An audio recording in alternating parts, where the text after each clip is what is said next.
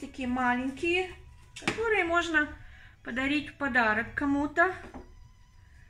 Их тоже можно использовать. Вот, и поэтому оставший, остав, имея вот остаток, значит, вот этого материала, а, вот этих красок, я сейчас попробую сделать хоть какой-то рисунок. Ну, почему бы не сделать? И сейчас я попробую слить оставшийся материал, чтобы не выбрасывать. И такие картинки тоже, они могут идти в подарок. Могут, э, вот мы добавляем такую краску, черную. Можно черную. Можно мешать как хочешь. Собственно говоря, с растворителями краски меньше смешивается. А вот вода и ПВА, и акрилик, он больше растворяется. Поэтому работать, конечно, с ПВА. Я видела многие работы на ПВА. Я вам скажу, действительно, эм, раз, ну, очень нужно пропорции строго соблюдать. Мне кажется, что с ПВА работать намного труднее, намного труднее, чем, э, значит, с, с настоящими растворителями. Это просто как говорю, потому что я тоже пытаюсь найти свою идеальную формулу. Знаете, как у алхимиков, нужно найти свою идеальную формулу. Вот, наверное, хватит этого. Вот, и мы можем просто... Я вот делаю вот так и вот так. Не хочу слишком мешать. И мы сейчас попробуем. Не знаю, хватит нам на две. Ну, в принципе, можно сделать мой любимый свер, то есть завитушки. Вот, завитушки. Вот, поставим пока что. И вот этот завитушки.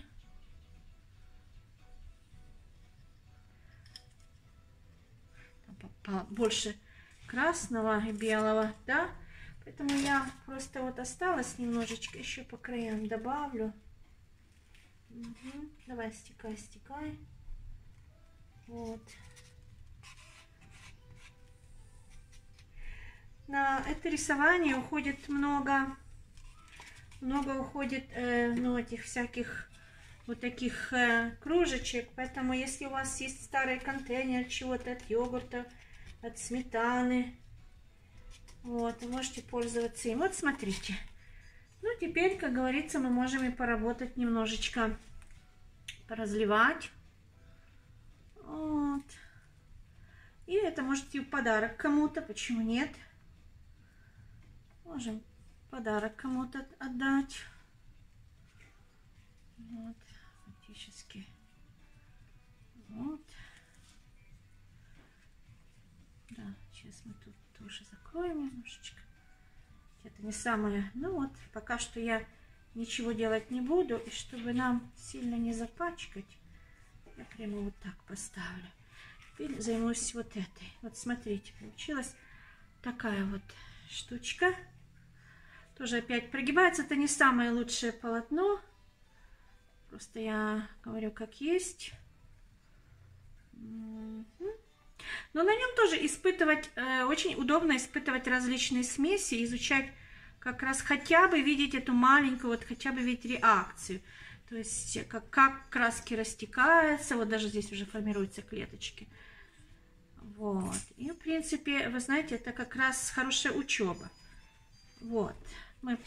Теперь самое интересное, что, э, значит, вот эти клеточки, они появляются, можно ждать, то есть появление силикона может быть э, более позднее и раннее. И вот смотря здесь, какого размера клеточки вы хотите поступить, получить, мы э, получаем раз. Но об этом я расскажу в другом уроке.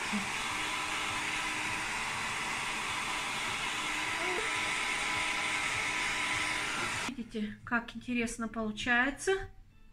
Это один рисунок. Чуть-чуть сейчас проявится с этой стороны. Вот мелкий, видите, они проявляются. В принципе, все. Таким образом, вот у нас как бы два подарочных варианта. Вот. Так что потом все покроется лаком. Вот один вариант. И вот второй вариант. Просто на память кому-то можно подарить. Вот. Можно вообще поставить на стол письменный. Естественно, что когда это высохнет, немножко будет другая картина. Ну, как бы не такой блестящий, но блестящий мы потом можем сделать с помощью лака, с помощью эпоксидной смолы. Вот на этом, пожалуй, этот урок закончится.